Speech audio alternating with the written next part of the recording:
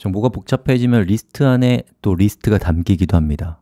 이러한 리스트를 다차원 리스트, 영어로는 multi-dimensional list라고 합니다. 이것에 대해서 알아보겠습니다. 자, 우리가 볼 수 있는 가장 일반적인 모습의 리스트예요. 이런 걸 1차원 리스트라고 하거든요. 그런데 각각의 사람에 대한 보다 자세한 정보를 담고 싶다면 어떻게 해야 할까요? 리스트 안에 리스트를 담습니다.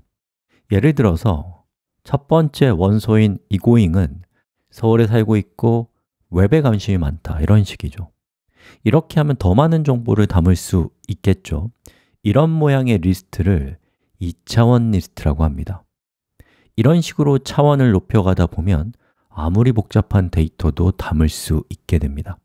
이런 다차원 리스트는 어떻게 반복문으로 다룰 수 있을까요? 궁금하시죠? 시작해 봅시다 자, 방금 보셨던 다차원 리스트를 persons라고 하는 이름으로 담았습니다 음, 그럼 제가 여기 있는 이 202라는 값을 가져오고 싶을 때는 어떻게 하면 될까요? print persons 0번의 0번이라고 하면 어떻게 돼요? 이 첫 번째 0은 이것을 가리키고 두 번째 0은 이것을 가리킨다 라는 것이죠 실행해 볼까요? 짠! 이 고잉이 잘 나옵니다 자, 그럼 여기 있는 이 데이터를 반복문으로 순회해서 화면에 출력해 볼까요? 자, 그때 어떻게 하면 될까요? 똑같아요 포문을 쓰는데요 in 뒤에 persons를 이렇게 됐습니다 그리고 각각의 순번에 해당되는 데이터를 저는 person에다가 담겠습니다 그리고 그것을 한번 출력해 볼까요? 자, person의 0번은 누굴 가리켜요? 2번 순번의 첫 번째 원소를 가리킵니다 네. 더하기, 컴마, 더하기 person 1 더하기 컴마 더하기 person 2 이렇게 하고 실행해 볼까요? 자, 실행하면 보시는 것처럼 이렇게 잘 출력되는 것을 볼 수 있습니다 어때요? 조금만 바꾸면 할 수 있죠? 축하합니다 자, 근데 제가 재밌는 거 하나 알려드릴까요? 자, 여기 있는 리스트 하나만 가져와 볼게요 저 리스트를 우리가 사용할 때 이렇게 이름을 주고요 여기 있는 각각의 항목들이 어떤 의미인지가 좀 분명치가 않잖아요. 이런 경우에는 여러분이 이렇게 이름을 줘서 0번은 name 두 번째는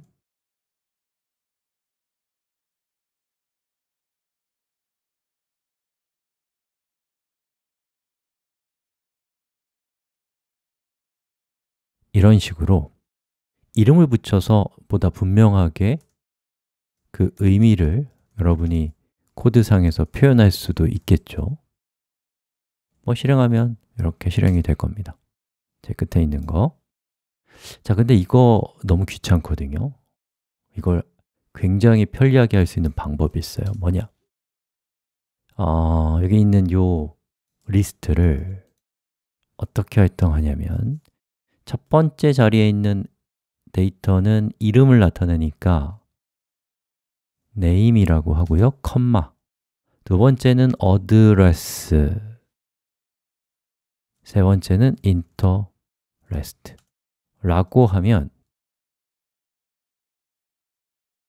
이 위에서 우리가 이렇게 길게 작성했던 것과 똑같이 동작합니다.